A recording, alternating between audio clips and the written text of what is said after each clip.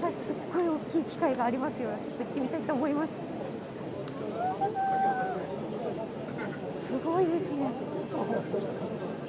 すみません、はい。これは一体何の機械になるんですか？あこれはですね、はい。今回 JTECT が新しく新商品で出した GR7 高精度ロール検索版になります。GR7 はい、へえちょっとこれは乗っても大丈あ夫ですか？どうぞご覧ください。これはえ動いてます。は？い、動いております。はい。ちょうど右側を見ると、ちょっとあの、はい、緑の爪が緑の爪が、はいあのはい、シールをつけてますので、あの横動いているのが、丸い筒がゆっくりこっちに回ってるのが見えます。へはい、そうです。ー。これは一体何の機械なんですか？えっ、とこれはあのロールというワークで、はい。えっ、と主に、うんうん。あの EV EV 自動車の電気自動車。電気自動車の、えー電池の中に入る、その膜を、えー製造するために必要なあのークになります。はい。電池の中のはい膜ですか？はい。へー。じゃあこの今大きな銀の筒ははい。実は全部薄いってことなんですか？えー、とこのロールを使ってその膜を、あの薄く仕上げていく、えーのでその膜が薄ければ薄いほどうん。高精度な電池ができるのでこれから、えーとても必要になってくるワークの一つです。それを、えー精度よくこの検索版で、えー加工していきます。これ高精度ってさっきはい。おっしゃっていただいたんですけど、ちょっと高精度か全然わかんないんですけど、はい。どう何が高精度なんですか？えー、と今この上に乗っているワークを回転させながら、はい。えーフレ精度を測っています。うんうん。その、フレ精度。あ、どれぐらい？えうんうん。ーこのロールが、うんうんうんえー触れなくんうん丸く仕上がってるかというのが、うんうんえー測ってます、はい。その数値が今ここで示している通りで、振れ幅がこれ、えー3ミクロンの中で、えー1ミクロンに到底いきませんので、だいたい今メモリを読むと0.0.2え、ミクロン、はい。はい、え、のこれ止ま間に止まってますよ。針動いてるんですかこれ？はい動いて今ます計測中ってことですか？計測中です。あ本当だ微妙に針がちょちょっとだけ、はいちょっとだけ揺れてる。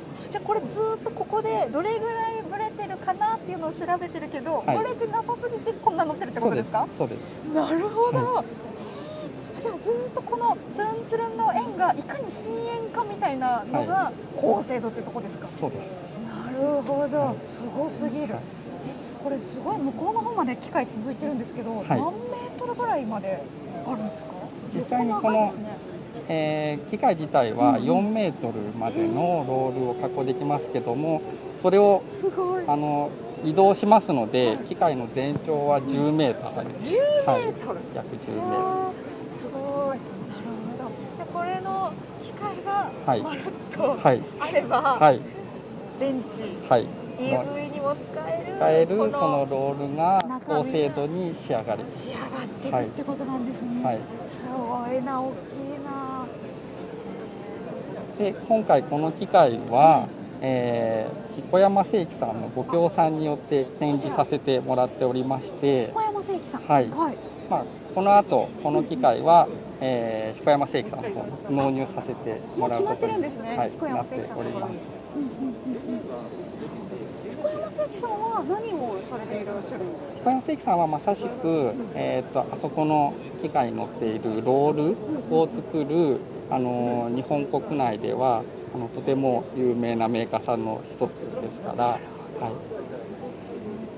い、ね、あれぐらいの技術をはいずーっとやってらっしゃった会社さんってことなんですか？あそうです今までは、えーやはりあそこまでの高精度を作るためには、えー職人さんの、あのね。腕によるこの調整が必要だったんですけども、まあ、今回この機械はそれらを全て自動でできる機能も、えーつけておりますので今まで職人さんがやってたものも機械があの製造できるというふうになってきます。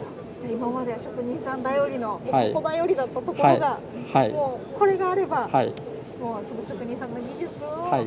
もう真似して、はい。そうすごい薄いロールがみんなできるようになるってことなんですね、はい、じゃあもう電池が作り放題になっちゃうってことですか？そうそうです。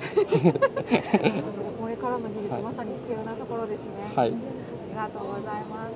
じゃあ最後になりますが、はい。お知らせを、はい。改めてご紹介をお願いします。はい、えー、と JTEC が今回発表した GR7、えー超高精度なあの比類なき、えー検索版となっておりますので。比類なき検索版？